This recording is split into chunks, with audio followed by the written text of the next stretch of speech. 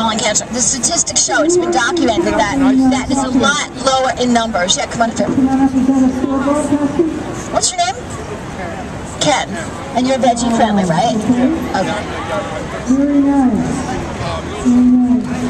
Uh, it's known that uh, monks around the world that uh, are basically eating strictly vegan, they usually live a lot longer than the other population that aren't necessarily vegan.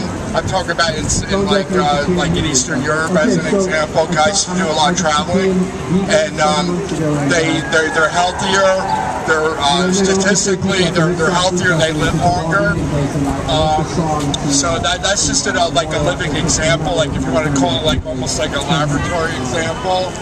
Uh, and I had one experience when I lived in Florida. I did have an, uh, I'm not raw now, I'm trying to go more in that direction, but I was, um, I went to a juice bar, and the chef there, I remember I started uh, doing like raw food, and I did experience the energy that this lady's talking about. It was brief, but I remember I was like astonished, and I knew it was from my change in diet.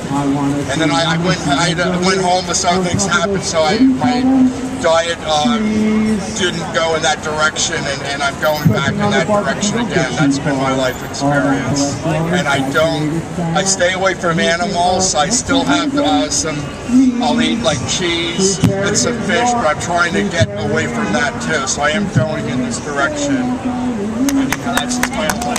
Thank you, Ken. You're welcome. All we are saying give peace a chance, right? You see the slogan, give peas a chance, give carrots a chance, give lettuce a chance. Kale, kale is a superfood. All we are saying is give kale